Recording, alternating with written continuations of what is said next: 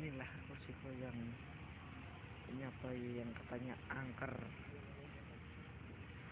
Ini lihat ini ini sapi yang lihat sendiri. Ada orang. Ini satu yang saya sendiri. Kalau siang hari